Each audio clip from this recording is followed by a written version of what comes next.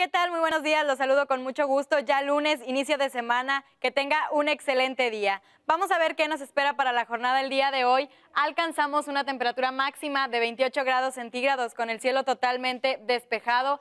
Temperatura agradable, sin embargo no se confíe porque para los próximos días viene un descenso en la temperatura teniendo valores que van desde los 9 hasta los 6 grados centígrados. Ya para las máximas poco a poco irán en ascenso teniendo para el martes 28 grados centígrados y para miércoles un valor máximo de 14, sin embargo para el jueves disminuye un poco la temperatura teniendo un valor de 9 centígrados y viernes y sábado valores que oscilan entre los 16 a los 17 grados centígrados. ¿Qué tenemos para el resto de la región?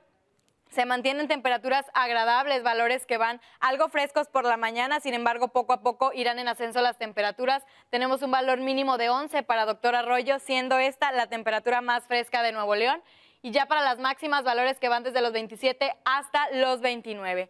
En el resto de, en el territorio de, de, Coahuila tenemos valores algo frescos por la mañana que van desde los 12 en el caso de Torreón hasta los 19 en el caso, eh, para hasta los 16 en el caso de Piedras Negras y ya para las máximas las temperaturas poco a poco irán en ascenso teniendo valores desde los 27 hasta los 29 en el caso de Monclova. Para Tamaulipas tenemos valores algo frescos por la mañana, valores que van desde los 19 hasta los 22 grados centígrados y unas máximas que van desde los 28 hasta los 33 en el caso de Miguel Alemán. En el territorio tejano nos esperan temperaturas algo frías por la mañana, valores que van desde los 8 hasta los 22, teniendo cielo totalmente despejado. Sin embargo, para Dallas espera algo de precipitación con un valor mínimo de 8 y una máxima de 26. Ya las temperaturas un poco más agradables en los restos de los municipios, teniendo valores máximos que van desde los 28 hasta los 30 grados centígrados. Hasta aquí la información del pronóstico del tiempo. Quédese con nosotros, continuamos con más información.